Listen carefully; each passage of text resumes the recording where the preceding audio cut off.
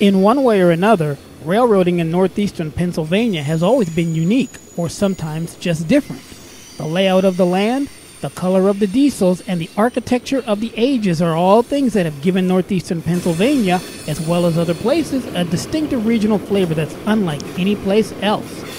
And although many outside of the railfan community might argue that all trains pretty much look alike, knowledgeable rail fans can often tell a train's destination and purpose just by looking at its makeup. Take this train for example. It's early morning, July 9, 2020, and at one time, a seasoned rail fan could surmise that this train is the Enola bound Train 11Z.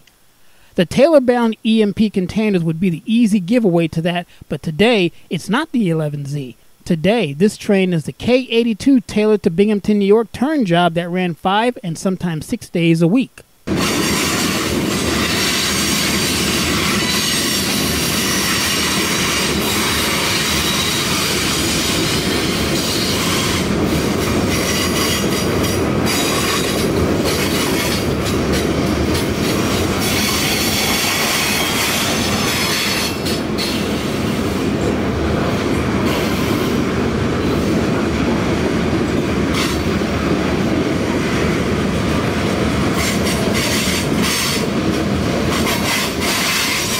The K 82 is one of several local train crews that work out of Taylor Yard ever since NS began running things back in September of 2015. Seeing the K 82 in daylight has always been rare since it has always been an evening train, usually with an 8 p.m. crew call time. By the time I caught the K 82 here, Norfolk Southern's top 21 version of precision scheduled railroading had been implemented and was pretty much the law of the railroad. The K 82 would soon be downgraded to running Bingo Town only on weekends, while the newly minted H 97 Binghamton to Taylor turn would take its place during the week. The point of all of this local nostalgia is the power. For several years under NS, Taylor was often a bastion of cool locomotive power. Foreign units, heritage units, special units, and 2 and 3 locomotive lash ups.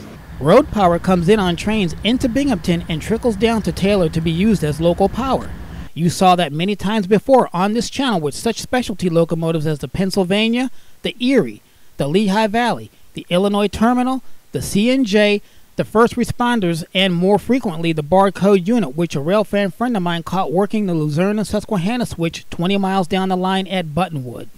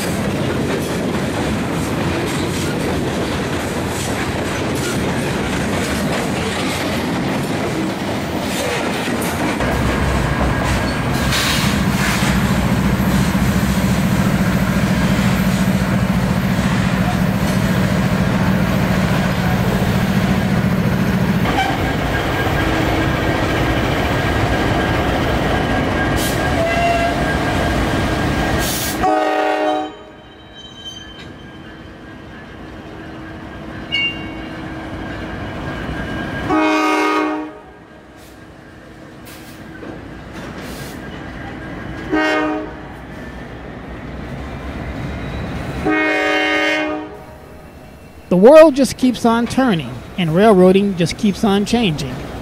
It's just not always for the better.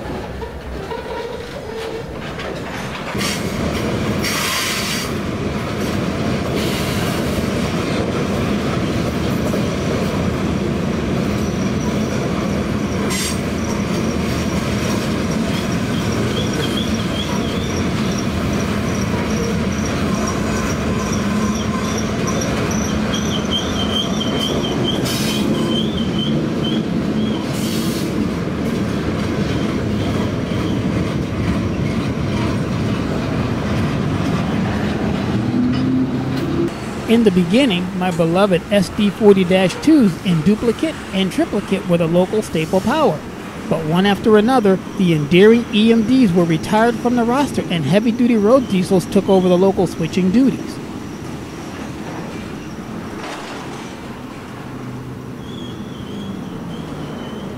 Not a bad trade-off at the time, but in recent times, the big two and three locomotive lashups have disappeared and now all we get at Taylor is usually a lone unit, usually in the form of boxy wide cab GEs.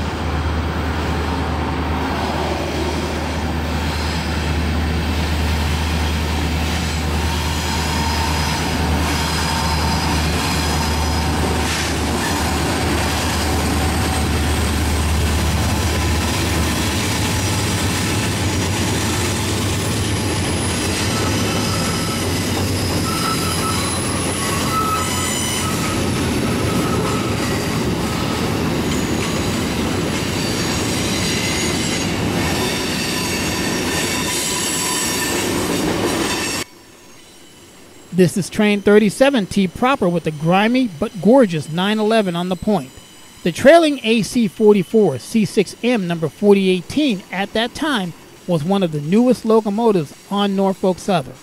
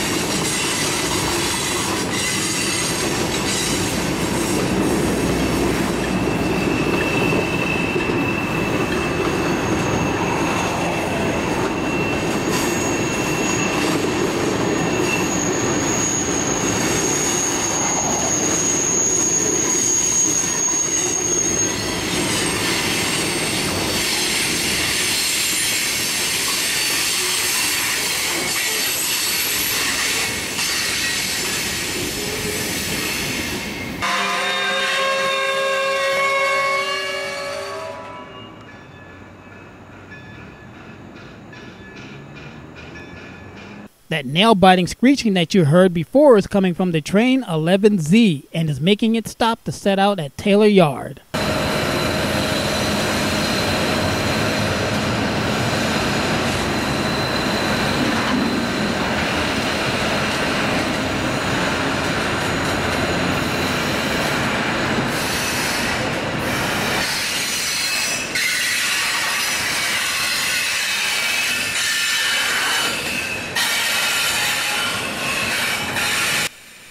The 11R was an East Deerfield, Massachusetts to Linwood, North Carolina train that worked Binghamton, New York, Enola, and Hagerstown, Maryland along the way.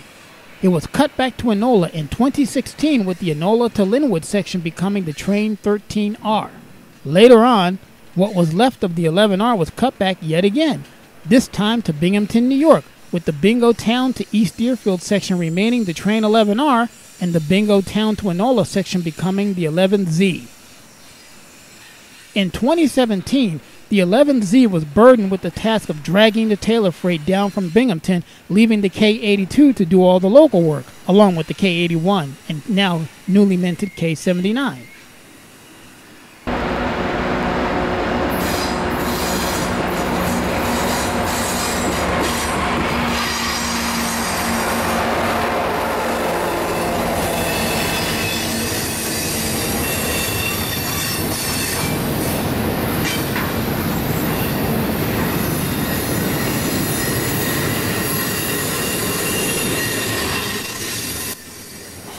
This manifest is the Canadian Pacific Train 458, the precursor to the 11R, which became the 11Z, a train that usually ran with Norfolk Southern Power and Canadian Pacific crews. As I've said in other videos, the power on the 458 was usually the power that came up on the previous day on the 459, and in typical operating fashion at the time, the 9645 and the 2077-4 came up the night before on the northward Binghamton, New York bound train 459.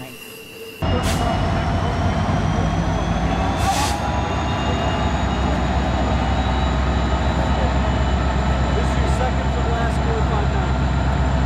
Tomorrow night's it.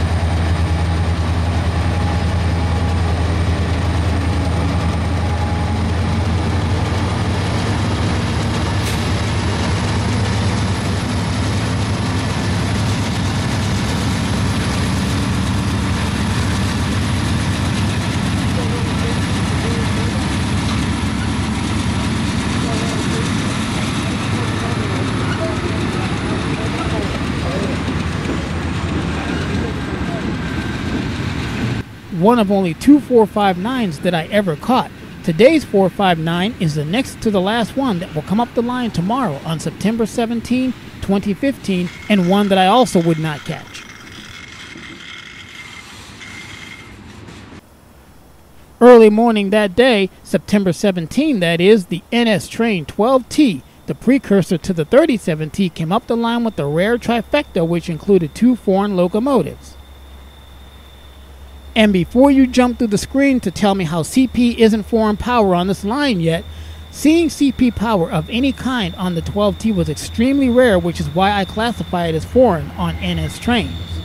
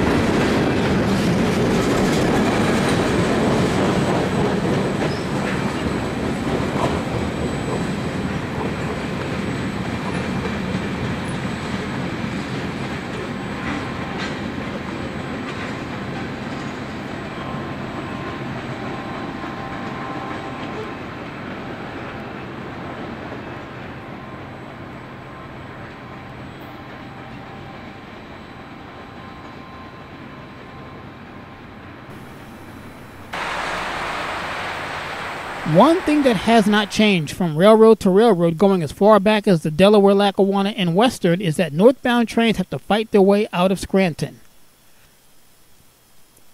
Today's Train 14R treats us to a jolly horn salute from a friendly engineer, as well as waves from the also friendly conductor Tanner Dalrymple and his brakeman.